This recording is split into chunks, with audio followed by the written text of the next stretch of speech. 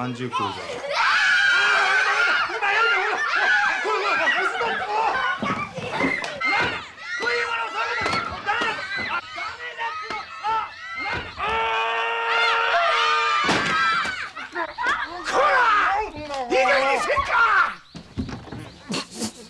愚か者しくも真空家康公と血筋を同じうする我が荻生松平家の当主がご平行ならまだしも町場の寺子屋の師匠も務まらんとあってはなんたる不甲斐なさお家の恥。腹を切れ解釈して死んぜよ。死ぬ前に最後のお給金を。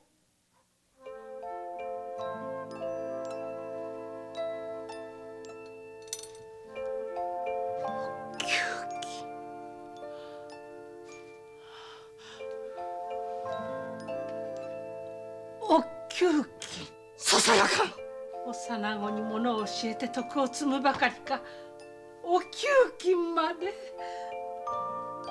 っともこれでどれほどのものが口に入る。か申し訳ございません。次なる方ではさ黒。その左のたもとの中のものは？え？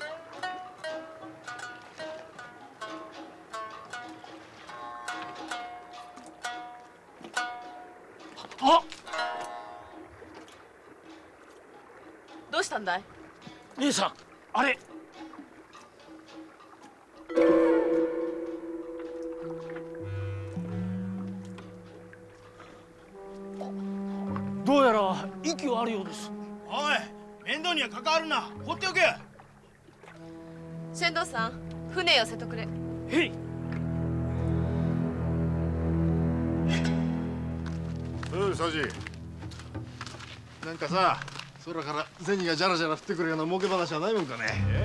銭を拾うどころか。人間拾っちゃいましたよ。なんか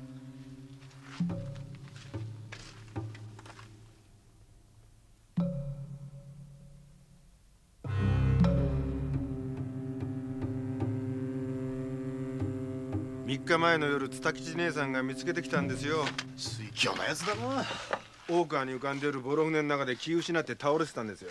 そんでもってねあしらここに運んできたのはいいんですが次の朝目覚ましたら驚くじゃありませんか。自分が誰なのかどっから来たのか全然覚えてないっつんですよ。本当にそんなことってあるんですかね。でねもうあっしらどうしていいもんやら。何やってんだ？おい水清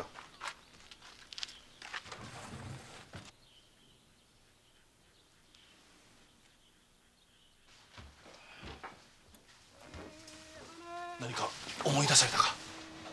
いや。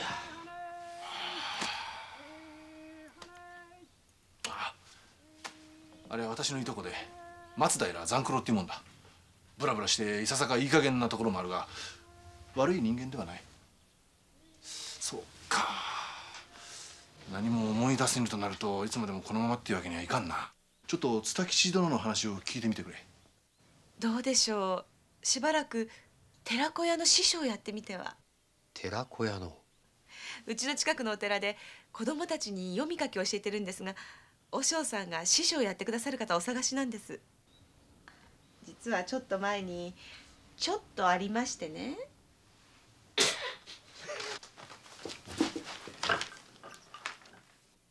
私に務まるだろうか。子供たちといると少しはお気持ちも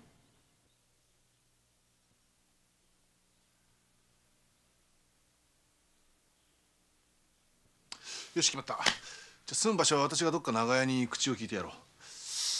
となると七市では困るな。大川の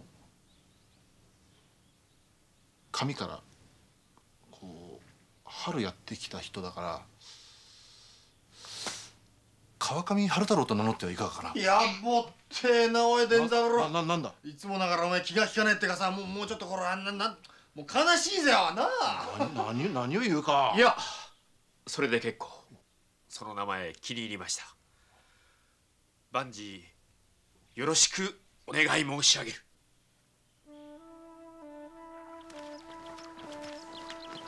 お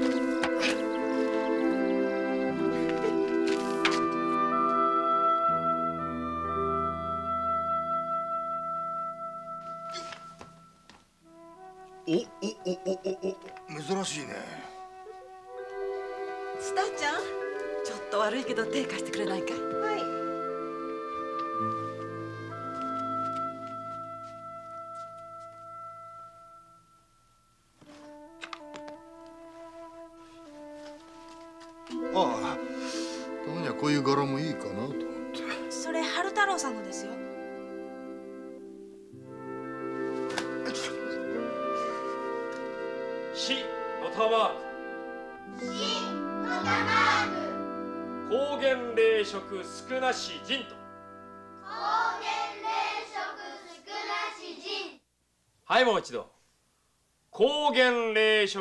少なし人と高原霊食少なし人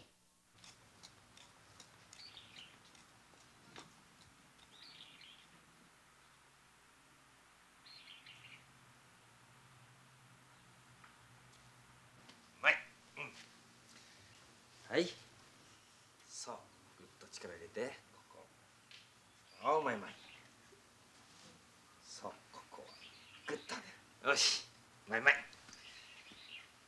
そうこうグッとよしうまくかけた。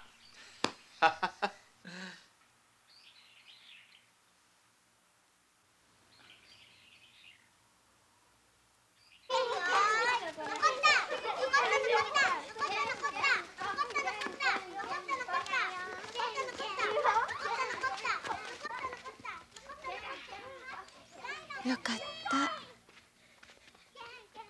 いえ春太郎さんまるでずっと前から寺子屋の師匠だったみたいに板についてらっしゃるから。初めは自分が何者であるかすら思い出せぬことが辛く情けなかった。だが馴染んでみればこんな穏やかな暮らしもいいもんだ。あなたには感謝している。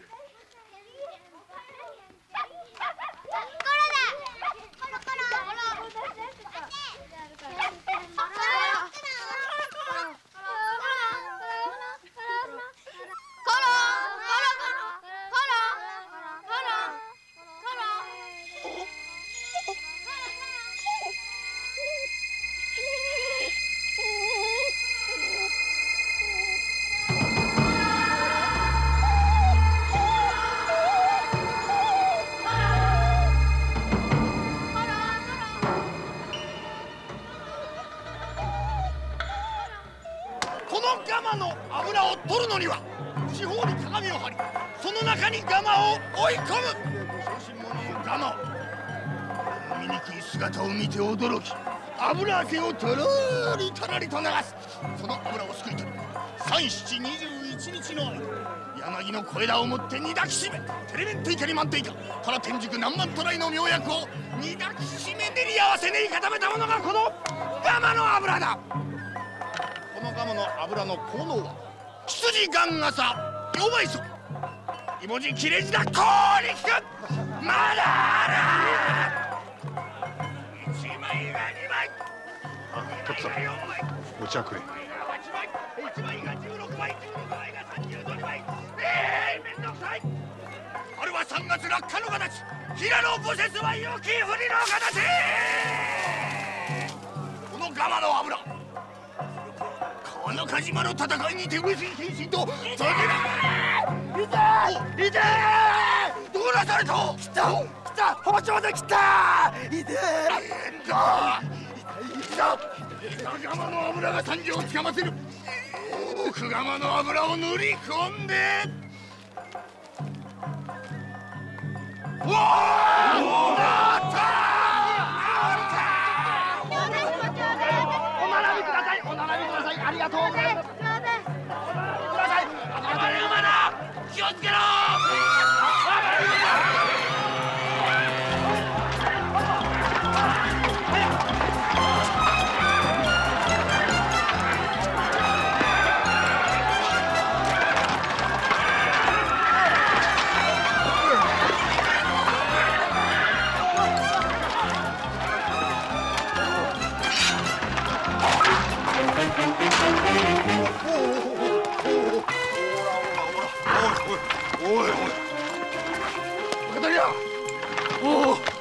大丈夫か？ああ怖かった怖かった。よし。ありがとうございました。立てるか？ありがとうございました。あいやいや。あ足やられてるみたいだサチ船木医者だ。へい。よしそれ形がないそれほらガマの油よけそ起きやがれあんなもん効くわけねえだろタコありがとうございました。じゃあお大事に。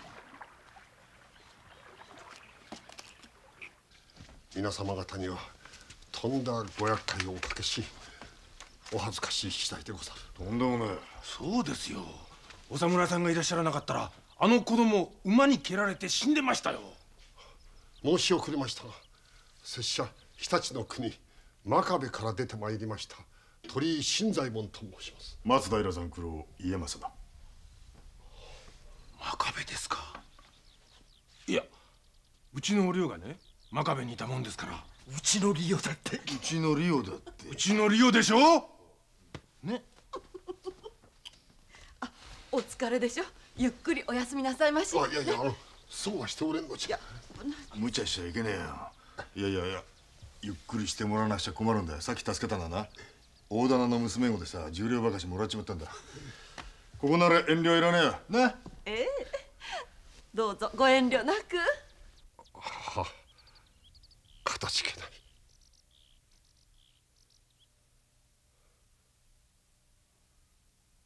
なんで背が低いな。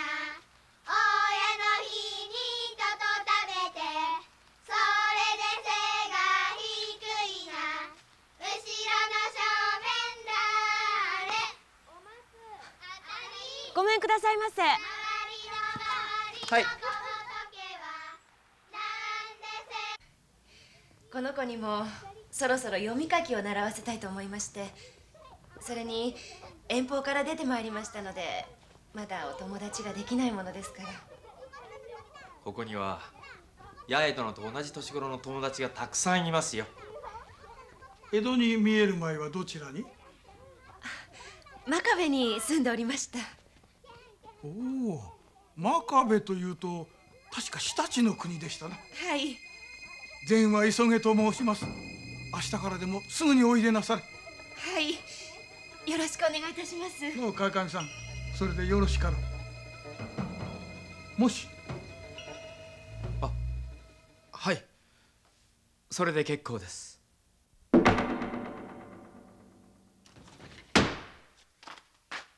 お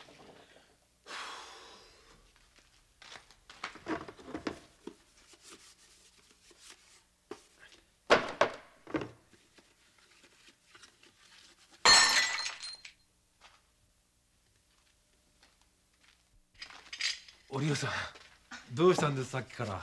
申し訳ありません。少し考え事をしていたものですから。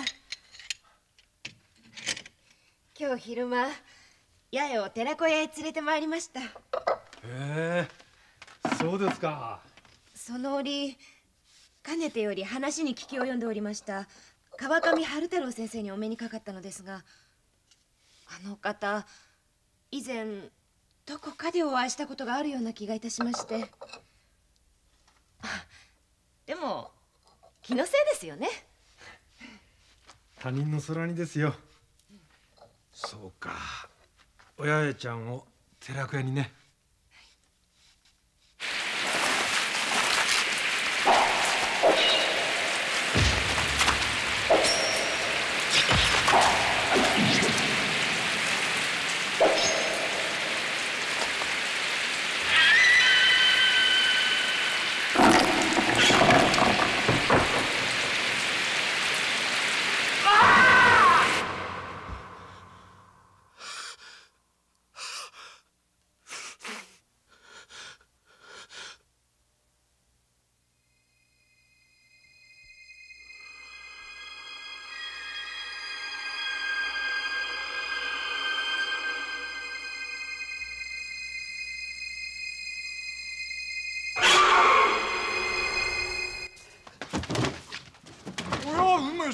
ました。朝早くから。旦那は。まだお休みですよ。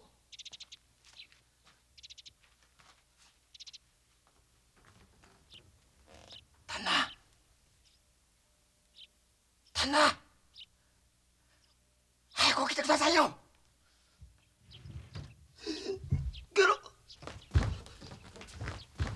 帰るかどうだどうだ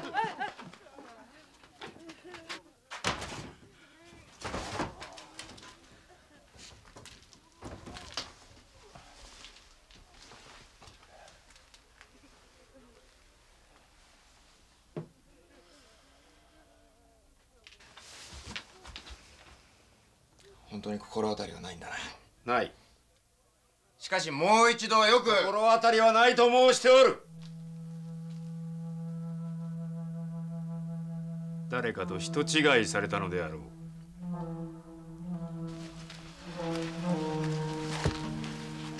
二人がかりで寝込みを襲われ返り討ち。しかも自分はかすり傷一つ負ってねゾッとするほどの使い手だな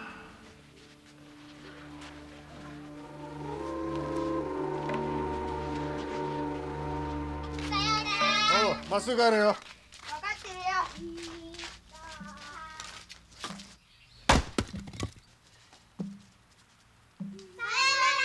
あさよなら。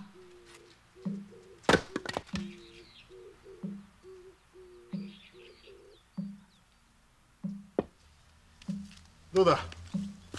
あいつらの世話大変だろ。いやそうでもない。毎朝あの子たちの声を聞くと元気が出る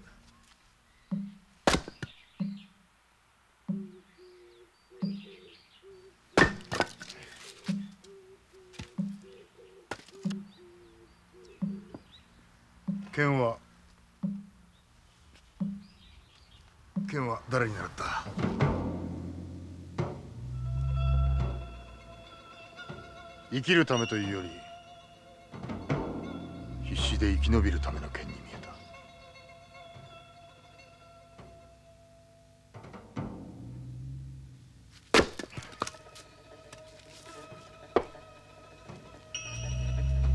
邪魔したな。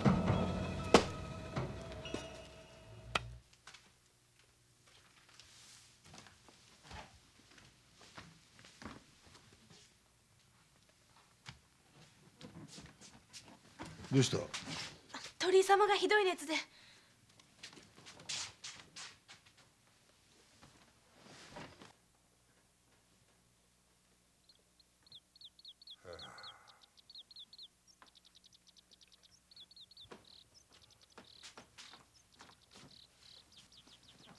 ああそのまま面目ない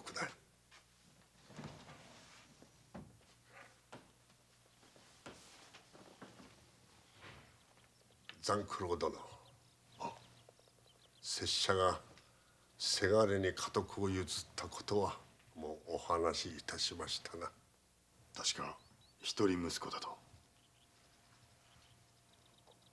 実はその下にもう一人息子がいるのです25年前3歳の時養子に出しましたそれはどういう？養子の先は代々藩のご重役を務められるお家柄ですがお子に恵まれなかったため縁あって拙者の息子を跡取りとしてお迎えくださったのです。ご当主の現代優というお名前から一時頂戴し源兵衛という立派な名でしかし強くたくましくあれと望まれるご当主に対してあの子は草木や生き物と戯れることを好む内気な性格。よく一人で泣いておったそうです。そして7歳の秋のこと。剣の稽古を怠って今度は何を始めたかと思うたら薄汚い捨て犬などを屋敷の中へ連れ込みおって源兵衛その犬を外へ放り出せ。嫌です。言うことを聞け。嫌だ。お前というやつはどうしていつもこそこそとして行いが卑しいのだ。今日という今日はその腐った少年を叩き直してやる Hey!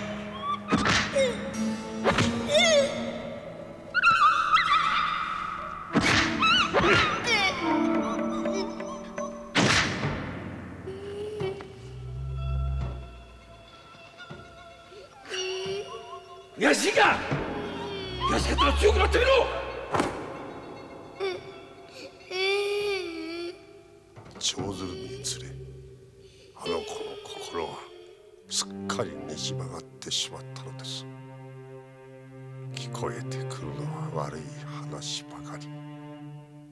ここ数年の行情のひどさは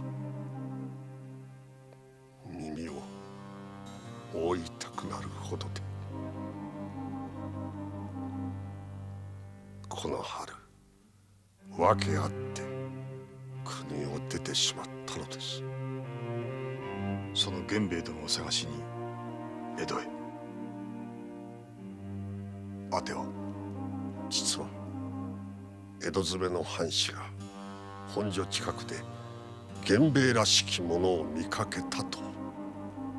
探し当ててどうなさるおつもりだ？実の父として。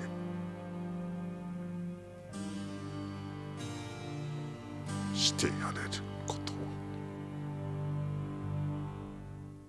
その鳥居殿というお方。ご子息のことをさぞ案じておられよ。うできるだけのことをしてあげるがよい。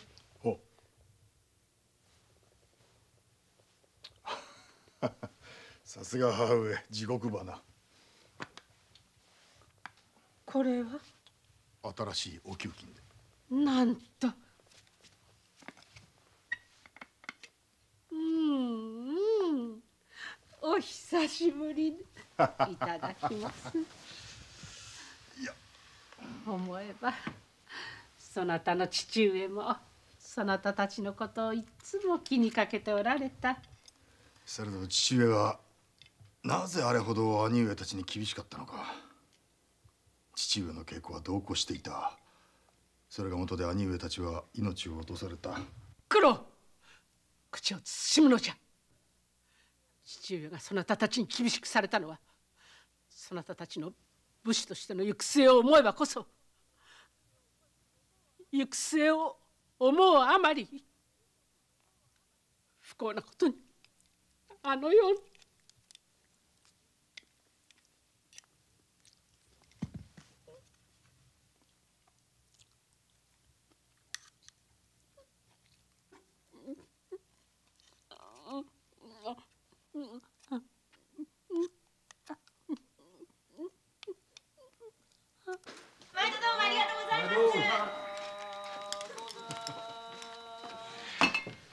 しゃいませお俺飯食え。えい。俺だえい。苦労したぞ。ご苦労さん。お一本。奉行社内のつてを頼って真壁の江戸詰めの藩士を紹介してもらいそいつらに散々飲み食いさせご機嫌を取り遠回しにあれやこれや聞き出す。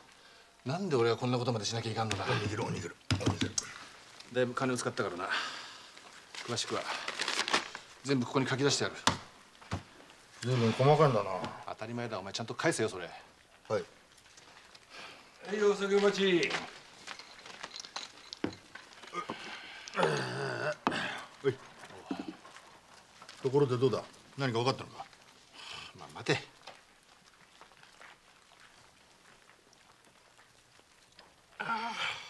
まず黒田源兵衛の養父は真壁藩の大目付の黒田源太夫だ。それからお前が聞いた通り確かに江戸屋敷には黒田源兵衛らしき男を本所近辺で見かけたと言ってる者がいるらしい。しかし往来で見かけたというだけでそれ以上のことは何もわからん。その代わり藩内の噂話はたっぷり聞かされたぞ。なんだ？源兵衛っていうのはとんでもないやつだな勤めを放り出して放蕩の限りを尽くす。酒を飲んで暴れ人を切ったこともあるそうだ。おまけに遊ぶ金を売るためにゆすりたかりまでやってたって言うんだからな。だが養子とはいえ大目付の長男である上恐ろしいまでに剣の腕が立つため誰も手出しはできなかったそうだ。はいお待ち。ちょっとねうちのお涼さんが気になること。お涼さん今の話。失礼ながら先ほどよりあちらへお二人のお話し声が聞こえてまいりまして確か真壁藩大目付黒田などとおっしゃっていたかと。そうか亮さんは真壁にいらしたんだな。はい。その黒田家のご長男源兵衛様と八重が寺子屋でお世話になっている春太郎先生とが瓜二つなのです。まさかとは思いますが。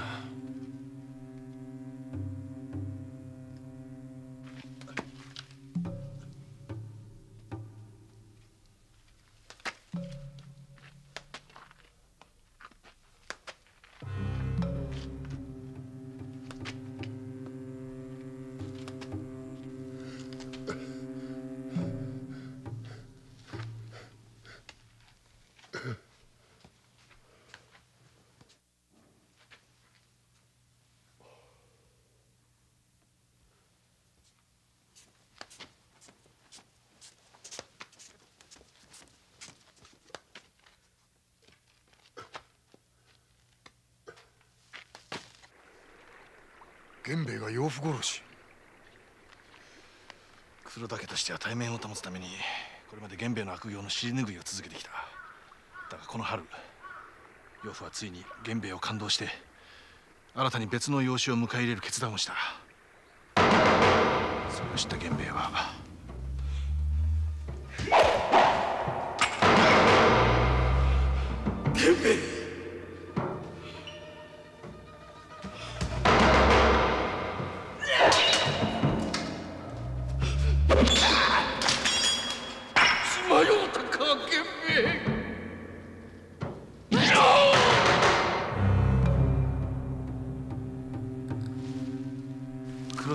した源兵衛を討つために刺客を放ってるらしい。なるほどそれでか。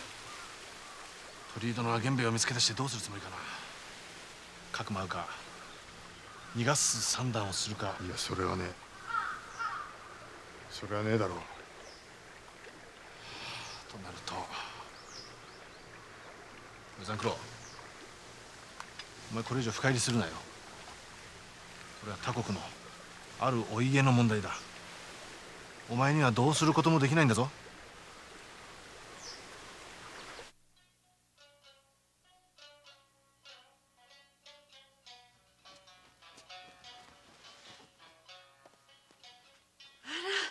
もうちょっとだね。ええ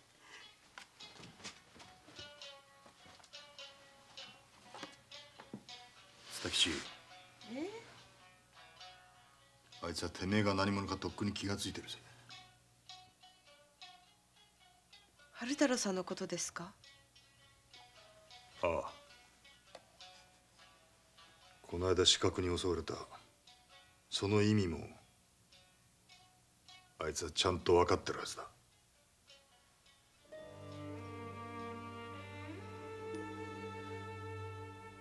あの人がここへ来る前にどこで何をしてたか知りません私が知ってんのは寺子屋で子供たちに読み書きを教えて私たちとこの深川で暮らしてる春太郎さん。あの人は裸で流れ着いた時にきっと生まれ変わったんですよ。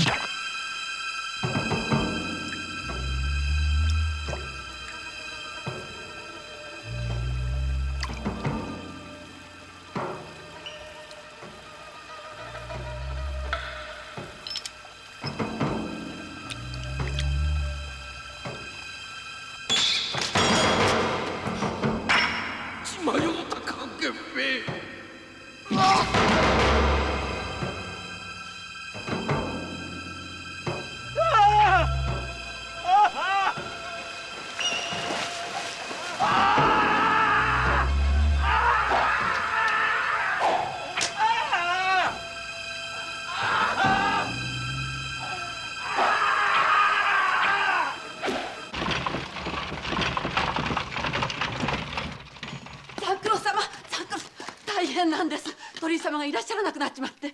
なんだって？さっきお茶をお持ちしたらきちんと部屋が片付いてて。まあこのお金とこれが。お国元へ向けてお立ちならみんなの顔を見てご挨拶なさるはずだし第一まだあの足の具合じゃ。何か変わったよさ。いいえ。おみつ何か気がついたかい？そういえば今朝朝ごはんの時に寺子屋の春太郎先生のことをお尋ねになりました。どんな人でいつどこから来たのかって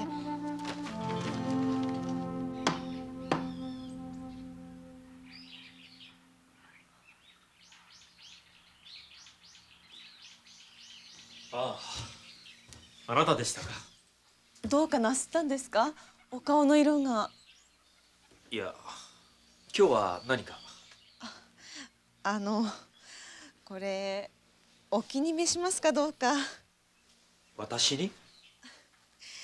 大体の見当で仕立てましたんで一度袖を通していただこうかと。ありがたい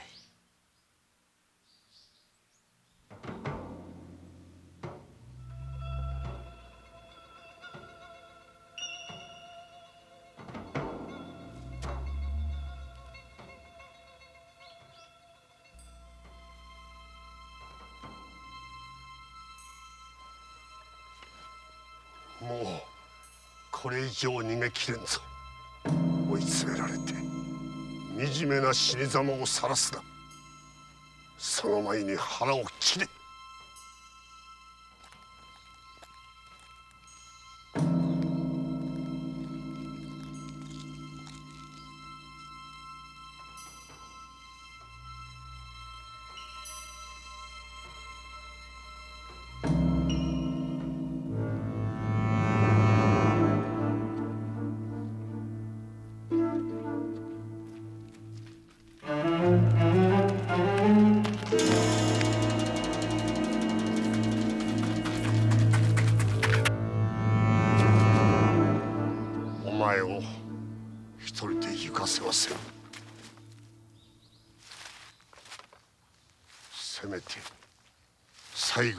後は武士らしく。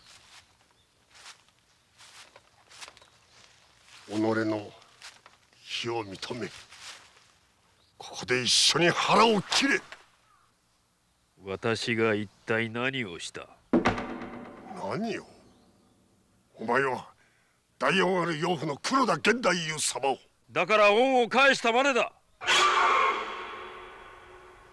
あの方は昔木刀にて私を打ち据え強くなってみよと仰せられた。時を経てこの春真剣にてお手合わせを願い今度は私が勝った。お望み通りに。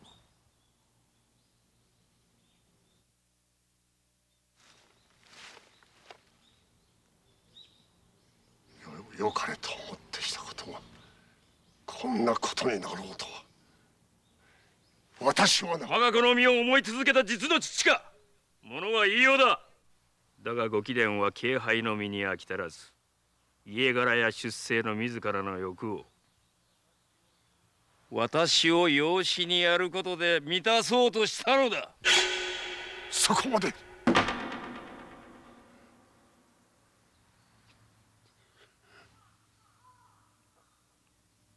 どうでも腹を切らぬというのなら。この私がお前を。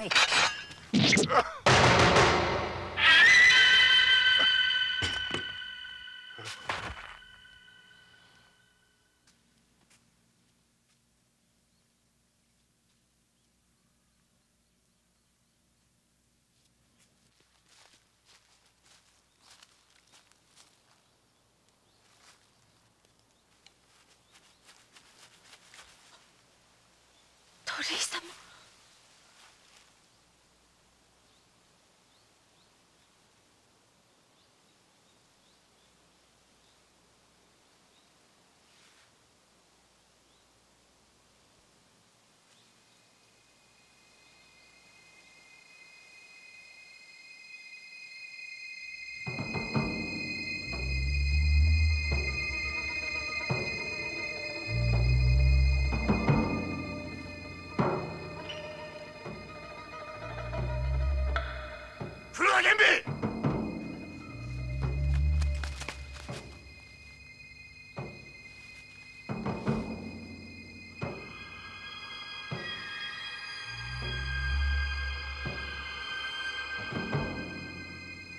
いつだ。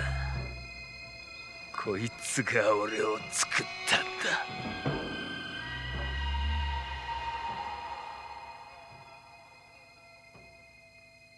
貴様俺の剣は生き延びるための剣だと言ったな。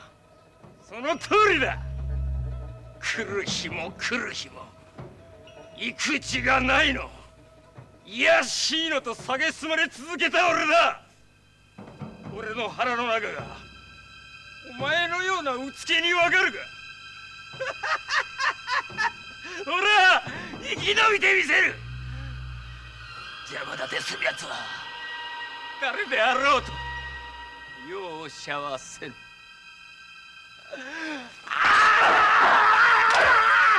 生まれ変わりてんならな。まず閻魔さんの許しを得てからだ。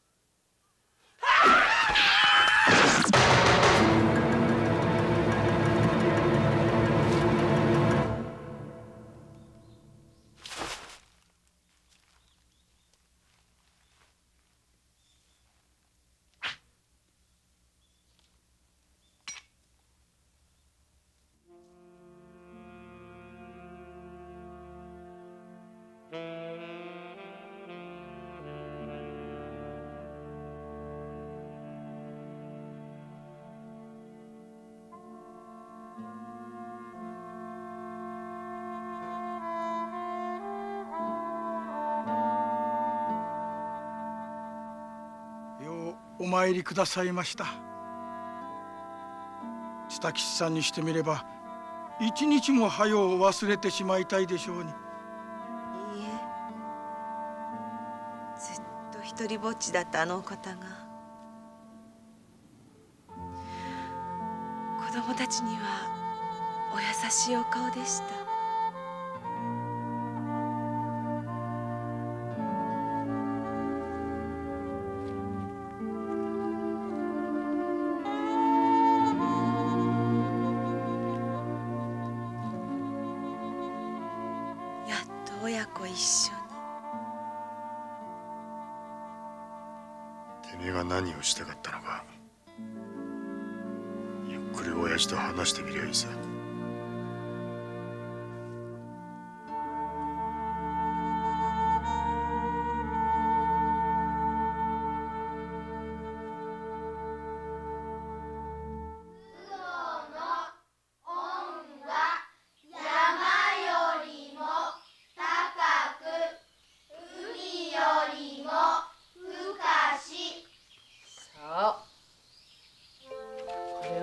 いて申せば親は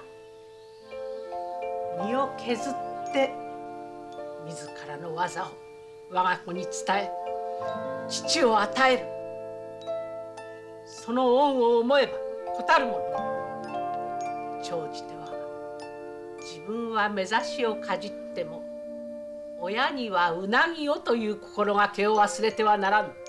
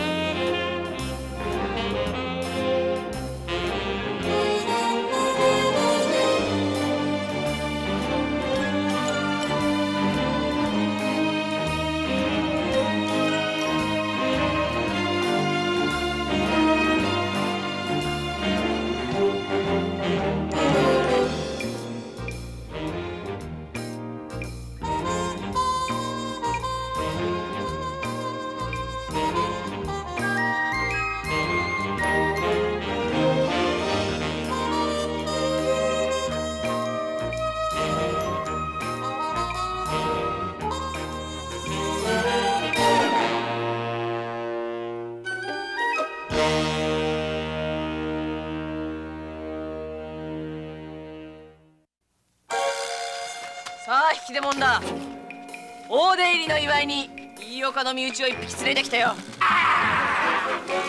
肥岡の助五郎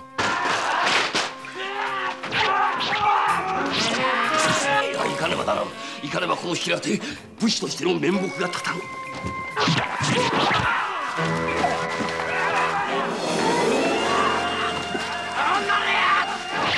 今度こそてめえを叩き捨てる